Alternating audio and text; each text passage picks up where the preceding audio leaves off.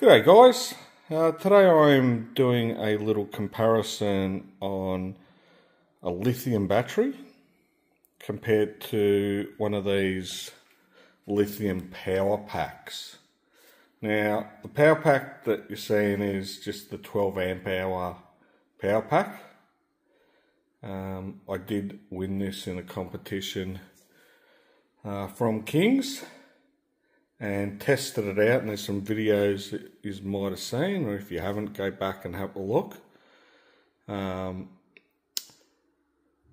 and initially when first testing the little 12 amp hour power pack I was quite impressed.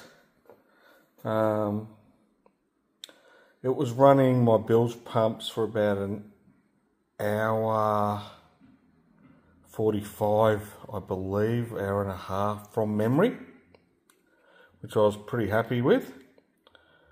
Um, this thing's only about a kilo and a half in weight. Has the cigarette lighter, has a C port, and also has, um, and that's the in and out. That C port, couple of USB, and a light. Um, and then there is another charging port there. And a lot of questions that come up about this thing is can I charge it while I'm using it? And in theory, as long as you're not using that C port, then yes. But the thing that lets this thing down is the cable you get supplied can only, you know, take not a lot of wattage. And these things take a considerable amount of time. I think Kings sell a charger now for these units, for the 12, and they sell a larger one, I believe, for the 24. Um, one's 100 watts, and the smaller one's 65. Trying to charge um, this thing while you're running with a solar panel, I, I just don't think um, that little cable that's going in, think of your phone cable. You know, you can only pump so much power through one of those sort of things before it's going to get extremely hot. You got to think you're going to have this thing to be charging it. You're going to have it in the sun. And I personally just don't think um, it's something even thinking about. You're never going to put in what you're drawing out of one of these little things. And yeah, look, I, I, I it's a good little unit. Um, it's lightweight. If you want to charge your phone, want to run a fridge for a few hours, um, a tablet, you know, charging a tablet or something like that, your laptop. Um, but it it does let you down in the sense that if you wanted to set this unit up for a day or two and you're thinking you're going to be able to use a small solar panel to charge this thing, nah, forget about it. I don't, I don't think it's the right bit of equipment. Now you might be thinking, why then are you comparing a little unit like that to a lithium battery in a battery box? Um, all right. So I'll go through what happened around Christmas time, you could say and I got some Christmas money in that. I bought myself because I was so impressed with this um, unit, and the initial testings were great. I went really the 24 amp, the amp hour um, lithium power pack will be much better. Same downfall with the charging um, has two of these sockets. That's the only real thing. Has two sockets um, and 24 amp hour. Now they're about 240 odd bucks. Now they don't come with a charger, so you've got to buy a charger on top of that. I think King sells one charge for about 65 and the other one's for about 100. So you've got to add that onto the cost as well. At the moment, Kings are selling this, and I'll show you what it is. It's a 60 uh, amp hour lithium battery. It weighs 7 kilos. And let's just say the box weighs a kilo. I don't think it'll be much more, maybe a kilo and a half max. So we're topping out at eight and a half kilos. The unit that I'm talking about, not this particular one, this is a kilo and a half. The 24 amp hour one um, is three kilos. So, yep, we've just gone a bit over double the weight. But we've got a little bit more than double the power. And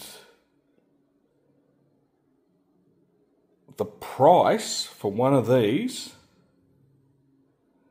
at the moment, and when the 24 amp one is on uh, sale, when they're both on sale, this costs you about 20 bucks more. Yep, you're going to need something to charge it. I'm lucky enough that I've already got a solar controller in my Patrol and a solar panel permanently mounted to the roof that I can just plug this in um, and charge it that way. The other thing um, is I've got a DC to DC charger in the Patrol that runs my larger battery, um, that runs the fridge and everything else. This um, battery box itself has a couple of plugs. So a couple of USBs and your cigarette socket. Advantage as well is it's got the Anderson plugs on it already. It has a cutoff, just a reset. Um, and I believe all these are fused. The one that isn't fused, I believe, is this here. There's an on and off switch, so you can turn it on. Press this little red button, and it'll give you um, your volts. Flick that off. Um, now, obviously, yes, you're going to need a charger for one of these things. If we look at, let's just say we were going to charge this thing, not solar, um, we were just going to charge it um, with a charger. Honestly, the charger is actually cheaper for my lithium. I can get a cheap charger that's, you know, still going to take a few hours to charge the thing up. But it's it's just it's price wise there's nothing in it if you went down the solar route like i have um, then yeah, it's probably about a couple of hundred bucks. Um, the advantage with this lithium, the draw that I can get out of this thing is um, pretty damn crazy. Like the ampage that I can pull out of this. Yeah, look, obviously, yep, bigger unit and all that sort of stuff, but we're talking, the comparison here is with the price. I'm having a bit of trouble um, undoing this thing because I need to show you what I've sort of done inside. But I'm comparing the two units for the one simple reason. It's about the price. It's not about, oh, but wait a second, this is a much bigger battery and this is this and that. This is about getting bang for your buck. Now, You've got a couple of little carry handles here that you can lift this thing up with. Bang for your buck, I'm getting twice the amount of power over twice the amount of power. Yeah, I've gone just over twice the amount of weight. But I can hook up a solar panel in one of these Anderson plugs with the controller um, and charge this thing, put a 250 watt solar panel on or a blanket and easily keep this thing charged and run my high banker because that's the really the main purpose. I can still charge my phone with this as well at the same time. And even if I'm running my larger high banker um, and taking about 15 amps, I should be able to put about 15 amps into it with the solar panel. Like a 250 watt panel. Now, so for me, I can keep this topped up. It'll last the whole day. And even if it draws, I'm drawing a little bit more than that, I've still got to use that 60 amp hours. Um, and I don't think I would. Even if I if I run my little high banker, I'm drawing about seven amps, let's say eight amps an hour. So you're going to be talking what seven, nearly eight hours or something with that banker. I'm not going to be digging for seven or eight hours to have that thing running for seven, eight hours as well. Um, or else I won't be moving the next day. My larger high banker is about 16 amps. Um, so we're talking close to four hours continuously. If I'm shoveling that thing as fast as it needs to be fed for close to four hours, once again, I'm not going to be walking out of that crate. You're going to be carrying me out. I'm just going to be killing myself. Um, so bang for buck, 60 amp hour, I think is a much better buy.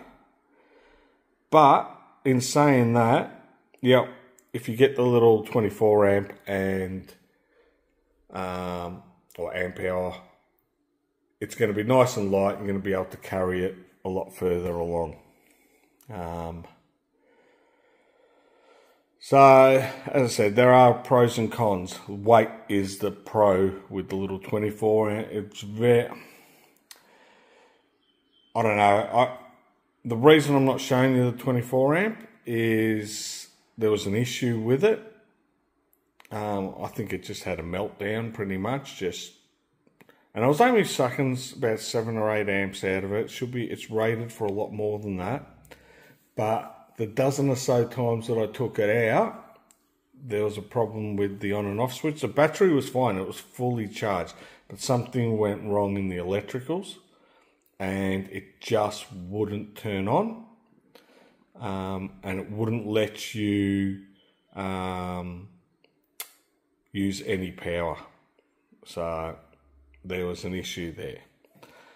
Um, the one thing that I do and I've done this with all my batteries um, because I believe this unit, these two plugs aren't fused. So when you connect something directly to here, so if I was going to do my bilge pump and I had clamps and I was clamping it onto here, I believe it's not fused. But regardless if it is or it isn't, I know these points are, um, I always do this and I'll show you. I'm going to lift this open. So in there, you'll see there's, I know they're a maxi fuse, I believe. Um, and I run that straight off the terminal. So bolts on one side to the terminal. Use a little nut and bolt there to bolt it onto the cable of the battery box. Um, you want that fuse to be right on the battery. You don't want the battery to have a problem in that sense. So I think the closer you are to that battery terminal, the better. Um, I think I'm running about, uh, that, that's an 80 amp fuse. Um, you'll see that, that little wire in there. You should be able to see that. It's very thin. It's 80 amp hour, but it's still very thin. It's going to pop before um, one of these large cables has a meltdown. but in saying all that, um, yeah, look, if you can spend probably another hundred odd bucks or 150 odd bucks, you can probably get yourself a 100 amp hour battery. But now we're talking, we're going from about 8 kilos with the battery box up to about 14 kilos. So we're doubling again. Um, and then 14 kilos, even though a big high bank you're carrying all this stuff, if you've got a couple of people, it's no problems. It's about how many trips you actually want to make to get to where you are. If you're camping, then yeah, sure, go ahead, spend the extra bucks because that power is going to come in handy, especially if you're running a fridge and um, a few things and you're not going to be moving for a few days. But that solar panel is going to, you know, kick in anyway and help you along the reach a few more days. I'm going to leave it there. What I'm doing actually, I wanted to do a video today mainly because um, I haven't done anything for a while. The other thing is um, I'm trying out um, my new phone. So I got the um, Samsung S24 Ultra. So I don't know, the camera's just set up in or in the standard thing. I haven't played around with it too much. Know there's all this AI and business and who knows. Um, wouldn't have a clue how to use any of that stuff. But yeah, it'll be interesting to see what the picture quality comes up. I'm holding this thing, just moving around, jiggling around. Light's not good. Um, but yeah. Look, I hope you have enjoyed it. Any questions, I'm happy to answer anything that I can. Um, no electrical wizard. But for me, for bang for buck, a 60 amp hour battery um, from Kings. You know, I'm comparing two Kings pro products really at the end of the day. That's probably, you know, people can say, oh, there's better lithiums, that's rubbish, and blah, blah, blah, blah. Well, there might be. This is talking about getting something cheap that's going to work um, and suits my needs. One other thing that I will quickly show you is in here, hope you can see these, see, should be able to see a little white bit of, I don't know, it's sort of like, it's not foam. Oh, I suppose it is, it's foam, it's not like polystyrene. And that's what the battery actually comes in, um, in its packaging. And I just use the base just to more lock it in. It won't slide. It's a nice tight fit. Um, doesn't affect the battery box in, in closing because it lifts it up by you know, a little bit like this. But it adds a little bit of protection if I dropped it, you could say, more than anything. But um, I'll leave it there. Um, there is a clue in here as well. You can work out what it was for those um, interested in the treasure hunt. But um, until the next time, I will catch you all later.